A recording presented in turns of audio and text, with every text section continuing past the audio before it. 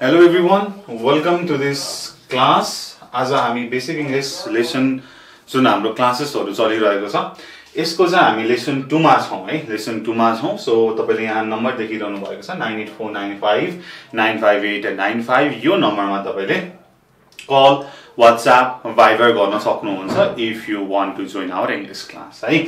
Okay so अब ढिला नगरी हामी सुरु गरौँ। सो हामीले योभन्दा अगाडिको लेसनमा योभन्दा अगाडिको क्लासमा हामीले केही कुराहरू गरेका छौँ। है त्यसको लागि तपाईँले मैले दिएको नम्बरमा तपाईँले मेसेज गर्नु होला and I will provide you the video अब त्यसलाई हेरेर हामीले यहाँको टास्कहरू गर्नु पर्यो ठिक छ? यहाँको टास्कहरू गर्नु पर्यो फर्स्टमा we have to introduce our selves ठिक छ? आफ्नो नाम भन्नु पर्यो आफ्नो कन्ट्री भन्नु पर्यो र आफ्नो अकुपेसन भन्नु पर्यो तपाईँले के काम गर्नुहुन्छ? भनेर भन्नु पर्यो है।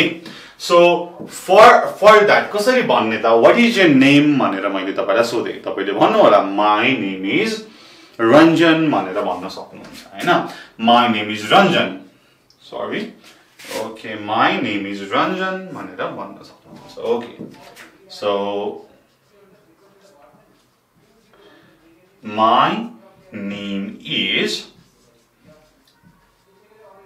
Ranjan भनेर भन्न सक्नुहुन्छ। एन्ड कन्ट्री कन्ट्रीको लागि तपाईँले चाहिँ आई लिभ इन भनेर भन्न सक्नुहुन्छ अथवा माई कन्ट्री इज दिस भनेर पनि भन्न सक्नुहुन्छ है। So I live in Nepal I live in Nepal भनेर भन्न सक्नुभयो अथवा I live in US I live in Australia भनेर भन्न सक्नुहुन्छ। And what is your what is your occupation तपाईँ के गर्नुहुन्छ? वाट डु यु डु भनेर सोद्धाखेरि तपाईँले भन्न सक्नुहुन्छ आफ्नो काम। जस्तै तपाईँले मलाई सोध्नुभयो भने मैले भन्छु आई एम अ टिचर भनेर भन्छु। अथवा म विद्यार्थी हुँ भन्नको लागि I am a student I am a student भनेर भन्न सकियो। यो त तपाईँले आफ्नो एन्सर दिनुभयो होइन? अब तपाईँले सोध्नु पर्यो कसैलाई सोध्नु पर्यो तपाईँको चाहिँ नाम के छ हो त भनेर सोध्नु पर्यो यहाँ हाम्रो टास्क टूमा भनिएको छ फाइन्ड आउट देयर नेम्स भनेर भनिएको छ। And how can be find out someone else name भन्दाखेरि बाई आस्किङ क्वेसन क्वेसन सोध्नु पर्यो सो तपाईँको नाम के हो भनेर सोद्धाखेरि वाट इज यर नेम भनेर सोध्न सकियो। What is your name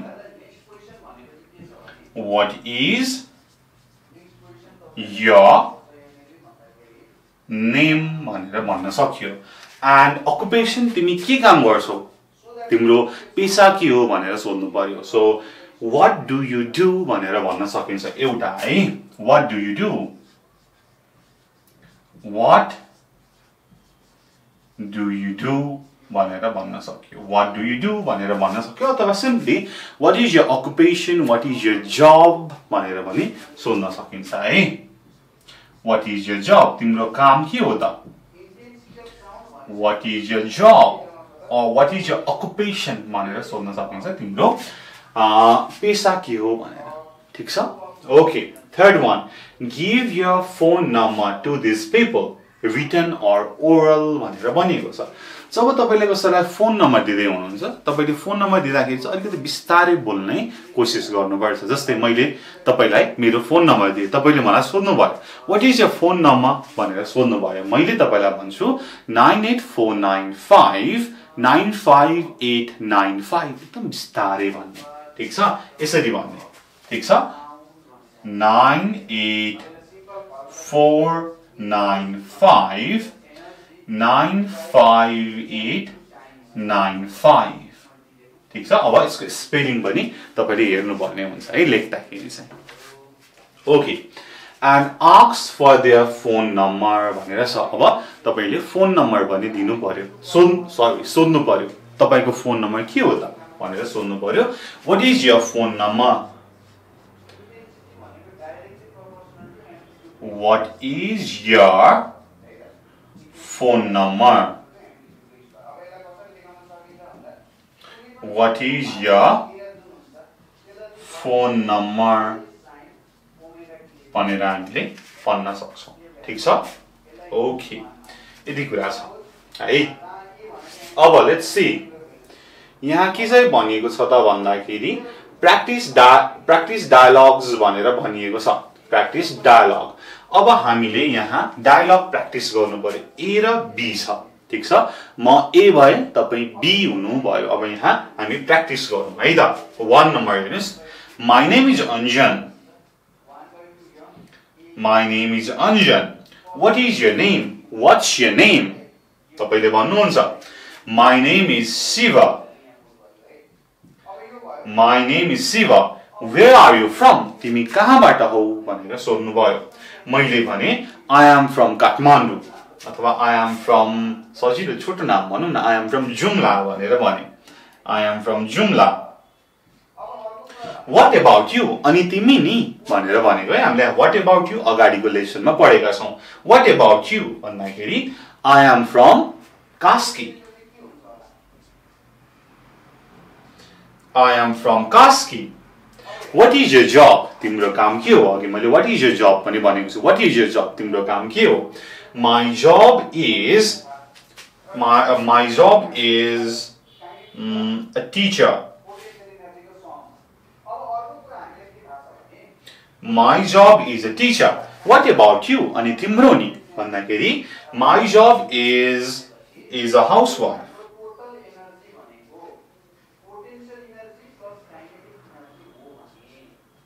my job is a housewife housewife भनेको चाहिँ घर गृहिणी घरको काम गर्ने। जुन जुन वाइफ हुन्छ श्री श्रीमती उसले घरको सबैको ख्याल राख्ने होइन हेरचाह गर्नेलाई हाउसवाइफ घर गृहिणी भनेर भनियो सो यसलाई दुईजना मिलेर तपाईँ साथी साथी बिच तपाईँले आफ्नो प्र्याक्टिस गर्न सक्नुहुन्छ। फर्स्टमा एले भन्छ my name is Ram what is your name what's your name my name is Sita where are you from अब फेरि रामले भन्छ आम फ्रम जुम्ला अथवा I'm from Nepal where are you and सीताले भन्छ I am from Australia what is your job my job is a teacher and what about you my job is a housewife म घर okay so so कसैलाई सोध्नु पर्यो?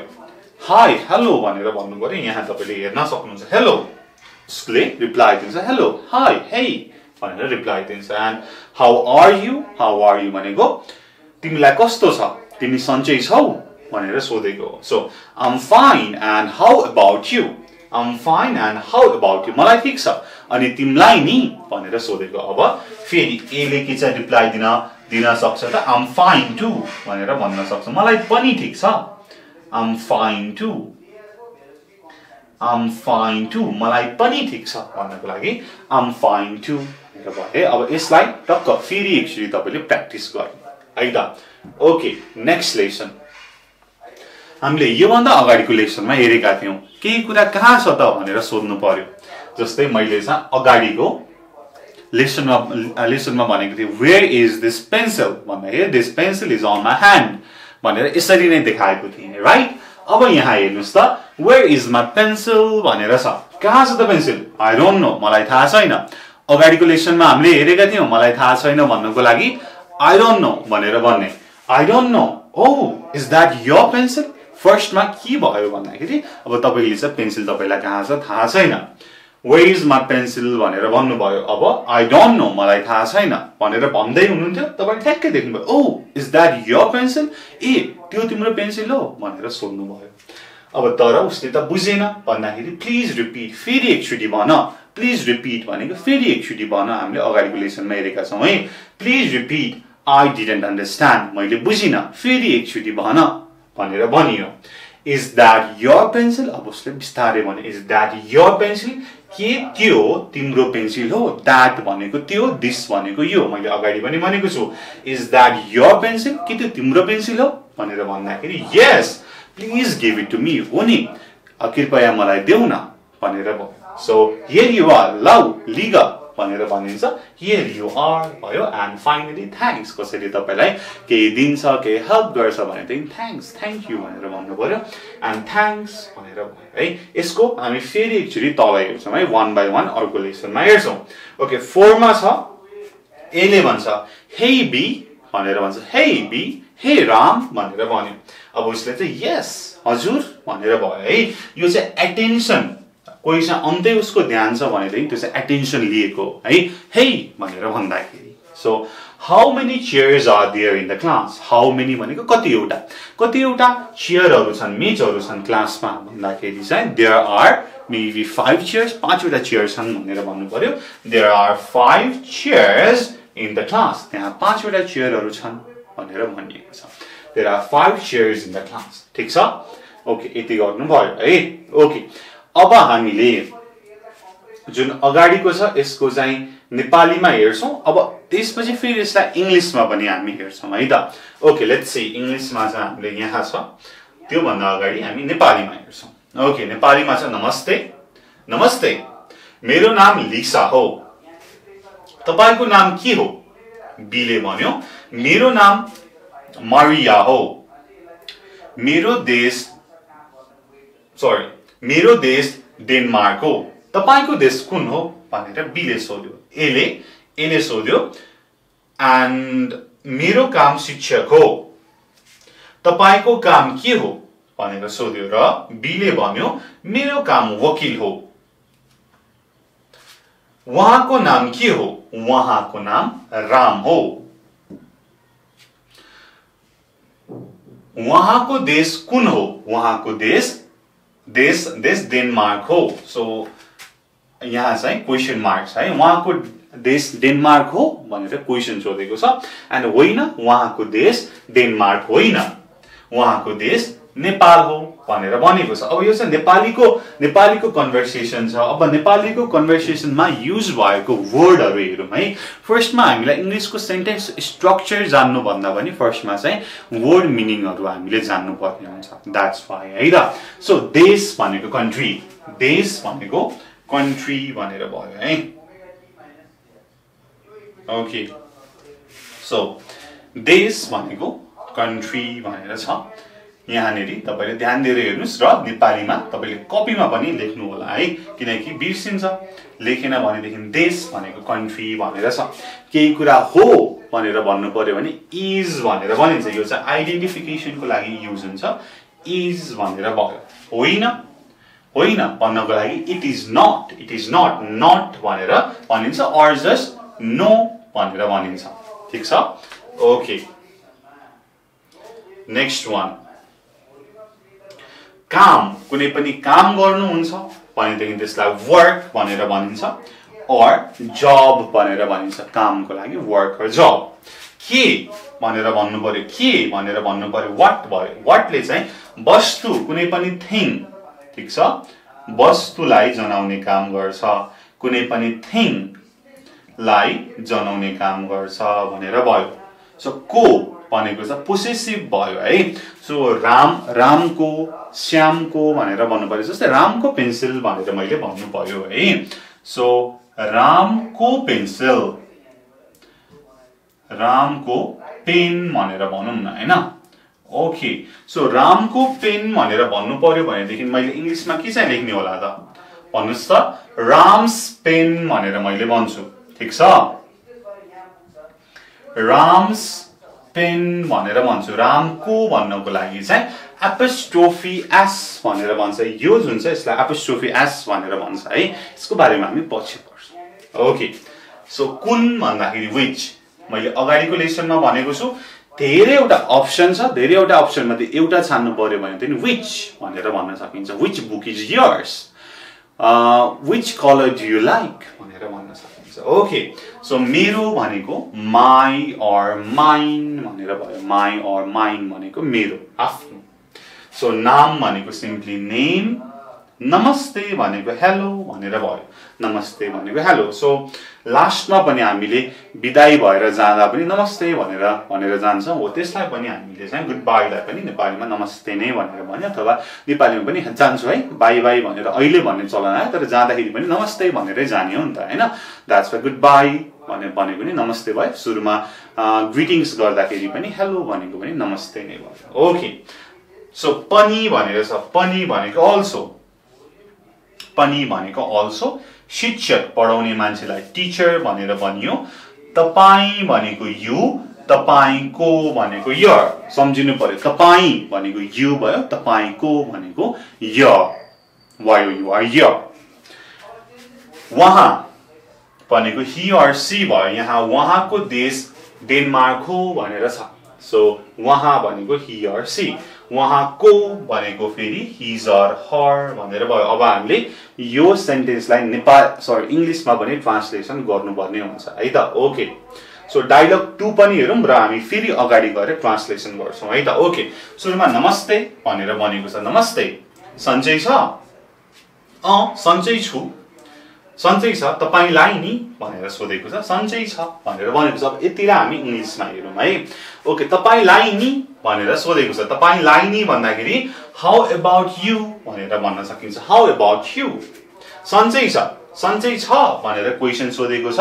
How are you भनेर भनेको अँ सन्चै भन्दाखेरि ओके भनेर भयो है। अब यसलाई हामी इङ्ग्लिसमा ट्रान्सलेसन गरौँ। ठिक छ? यसलाई हामी इङ्ग्लिसमा ट्रान्सलेसन गरौँ। फर्स्टमा नमस्ते भनेर छ। नमस्ते भनेको के छ हो त? हाई हेलो भनेर भनेको है? सो हेलो भनेर भनेको भयो।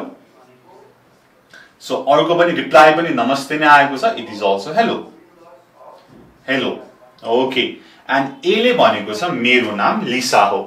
मेरो नाम लिसा हो। That means my name is Lisa right my name is Lisa भनेर भनिएको छ। नेक्स्ट तपाईँको नाम के हो? तपाईँको नाम के हो? क्वेसन सोधेको छ है क्वेसन मार्क छ यहाँनिर। तपाईँको नाम के हो? What is your name what is your name what is your name भनेर छ। वाट इज यर नेम भनेर छ। मेरो नाम मारिया हो। मेरो नाम मारिया हो। भनेर छ। यहाँ चाहिँ यहाँ चाहिँ मेरी भनेर चाहिँ एमएआरआई मेरी। मेरीलाई चाहिँ नेपालीमा नेपालीमा चाहिँ मारिया भनेर त्यो जुन चेन्ज भएर आउँदाखेरि चाहिँ मारिया भनेर चाहिँ धेरै ठाउँमा युज भएको छ है। So what is your name my name is my name is Mary M A R I Mary भनेर भयो। सो मेरो देश डेनमार्क हो भनेर भनेको छ मेरो देश डेनमार्क हो भन्दा भन्दाखेरि माई कन्ट्री इज डेनमार्क भनेर भन्न मिल्यो। अथवा आई एम फ्रम डेनमार्क भनेर भन्न मिल्यो। है हामीले अगाडिको लेसनमा हेरेका थियौँ। आई एम फ्रम डेनमार्क भनेर छ। आई एम फ्रम डेनमार्क भनेर छ। तपाईँको देश कुन हो? तपाईँको देश कुन हो? सोधेको छ। कुन भनेको विच भयो। Which country are you from अथवा वेयर आर यु फ्रम भनेर भन्न सकिन्छ है यसको लागि। वेयर भनेको कहाँ हुन्छ? वेयर आर यु फ्रम भनेर छ। अथवा विच कन्ट्री कुन भनेर छ नि त? That's why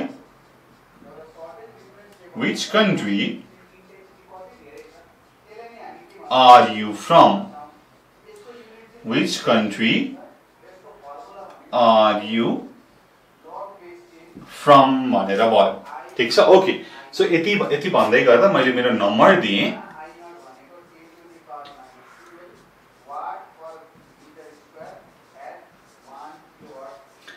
ओके यदि तपाईँलाई केही सोध्नु पर्ने छ तपाईँ अनलाइन क्लास लिन चाहनुहुन्छ भनेदेखि हाम्रो मर्निङ र इभिनिङ सिफ्ट छ। So this is our number nine eight four nine five nine five eight nine five यसमा कल वाट्सएप भाइबर गर्न सक्नुहुन्छ है। So which country are you from मेरो देश पनि डेनमार्क हो। सो अघि हामीले पनि भनेर हेरेका थियौँ त्यहाँ अल्सो भनेर छ है। So I am also from Denmark भनेर भन्न सकियो। I am also from Denmark. I am also from Denmark. Okay. I am also from Denmark. भनेर भयो सो मेरो काम शिक्षक हो मेरो मेरो काम शिक्षक हो so I am a teacher भनेर भन्न मिल्यो म शिक्षक हुँ भन्नको लागि I am a teacher I am a teacher अथवा माई जब इज टिचर भनेर भन्न मिल्यो। तपाईँको काम के हो भनेर सोध्नु पर्यो। यस यसमा चाहिँ I I am a teacher what about you भनेर भन्न सकियो। I am a teacher what about you What about you? I am a teacher. What about you? भनेर भन्न सकियो। अब मेरो काम वकिल हो। I am I am a lawyer है? I am a lawyer I am a lawyer भनेर भनियो सो उहाँको काम के हो? उहाँ भनेको हि भनेर भयो है। सो हि अथवा सी भयो उहाँको भन्दा हिज अर हर भयो। सो उहाँको काम के हो? So what's his job what is his job भनेर भन्न सकिन्छ। What is his job what is his job भनेर भन्न सक्यो what is his job okay उहाँको नाम नाम के हो रहेछ है उहाँ उहाँको जब के हो होइन? वाट इज हिज नेम भनेर भने अलिकति टल्किएर चाहिँ मैले ठ्याक्कै देखिनँ। Okay I'm sorry sorry for that what is his name भनेर भन्न सकियो सो सो तपाईँको नाम के हो? भन्दाखेरि वाट इज यर नेम थियो। अब उहाँको नाम के हो उसको नाम के हो भन्दाखेरि वाट इज हिज नेम भनेर भयो। उहाँको नाम राम हो। उहाँको नाम राम हो हिज नेम इज राम भनेर भन्न सक्यो। उहाँको नाम राम हो his name is name is Ram भनेर भयो। हिज नेम इज राम भनेर भयो। ओके उहाँको देश डेनमार्क हो भनेर क्वेसन सोधेको छ। उहाँको देश डेनमार्क हो भनेर भनेको छ। यसको लागि इज हि फ्रम डेनमार्क भनेर सोध्न सकिन्छ। Is he from Denmark is he from Denmark is he from Denmark भनेर सोध्न सक्यो इज हि फ्रम डेनमार्क भनेर सोध्न सकियो होइन उहाँ उहाँको देश डेनमार्क होइन भनेर सोधेको छ होइन no no he is not he is not from Denmark. No, he is not from Denmark. He is not from Denmark भनेर भन्न सक्यो उहाँको देश नेपाल हो हि इज फ्रम नेपाल भनेर भन्न सक्यो अथवा हिज कन्ट्री इज नेपाल भनेर भन्न सक्यो so he is from Nepal he is from Nepal he is from Nepal अथवा हिज कन्ट्री इज नेपाल भनेर भन्न सक्यो ओके यो कुरा भयो है? सो यहाँ हामीले नेपाली ट्रान्सलेसन अघि हेरेका थियौँ। त्यसको माथि ठ्याक्कै हामीले एप्लाई गऱ्यौँ है? अब यसमा केही नबुझ्नु भएको छ भनेदेखि हामीलाई सोध्न सक्नुहुन्छ। सो हाम्रो नम्बर छ।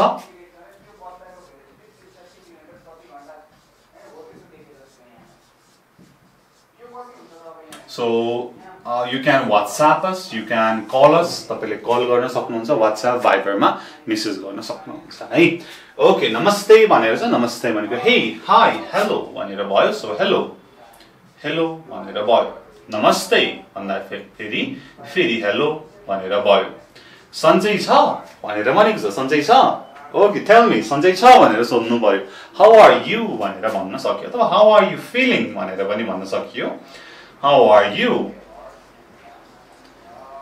how are you भनेर भन्न भन्न सक्यो सन्चै तपाईँलाई नि? अँ ठिक छ तपाईँलाई नि? भन्नको लागि I'm fine and you I'm fine okay I'm fine and you भनेर भन्न सकियो। अथवा I'm fine how about you how about you? I'm fine. How about you? भनेर भन्न सक्यो सन्चै छ आम फाइन आम फाइन अथवा मलाई पनि सन्चै छ भयो भने आम फाइन टु भनेर भन्यो है आम फाइन टु भनेर भन्यो ठिक छ ओके यसमा यति कुरा भयो है ओके र हामीले यति कुरा गऱ्यौँ सो सो यो भिडियोको लागि यो लेसनको लागि यति भयो हामीले यसमा नेपाली टु इङ्ग्लिस ट्रान्सलेसन गऱ्यौँ र हामीले थोरै यो जुन कुराहरू हेऱ्यौँ है। यहाँनिर धेरै धेरै कुराहरू छ है। र यसमा मैले यहाँनिर तपाईँलाई थोरै अझै बुझाउन खोजेँ है। वेयर इज माई पेन्सिल मेरो पेन्सिल कहाँ छ भनेर भनेको है। यसले कहाँ भनेर बुझाउँछ कहाँ छ? आई डोन्ट नो भनेको मलाई थाहा छैन। मलाई थाहा छैन। I don't know oh is that your pencil is that your pencil ए त्यो तिम्रो पेन्सिल हो भनेर क्वेसन सोधेको है यो। ए त्यो तिम्रो पेन्सिल हो। त्यो तिम्रो पेन्सिल हो। त्यो तिम्रो पेन्सिल हो भनेर क्वेसन सोधेको हो कि होइन त भन्नको लागि सोधेको। प्लिज रिपिट फेरि भन प्लिज रिपिट भनेको फेरि भन आई डिडेन्ट अन्डरस्ट्यान्ड मैले बुझिनँ। आई डिड नट अन्डरस्ट्यान्ड मैले बुझिनँ। इज द्याट यर पेन्सिल त्यो तिम्रो पेन्सिल हो। Yes please give it me हो। हो कृपया मलाई देऊ। हियर यु आर लाउ र थ्याङ्क्स भनेर चाहिँ यसमा अलिकति हेर्नु होला र अरू सजिलो छ र यो माथिको हामीले लेसन वानबाट हामीले यो सल्भ गऱ्यौँ है। ओके यति कुरा छ र हाम्रो नम्बर छ यहाँ। So this is our number र यो नम्बरमा तपाईँले कल वाट्सएप भाइबर गर्न सक्नुहुन्छ। तपाईँलाई अगाडिको लेसनको भिडियो चाहिन्छ अरू अनलाइन क्लास पढ्न चाहनुहुन्छ भनेदेखि नै बेसिक इङ्ग्लिसको सो यो लेसनको लागि यति भयो. Thank you so much for watching until next time good bye keep learning see you on the next video thank you so much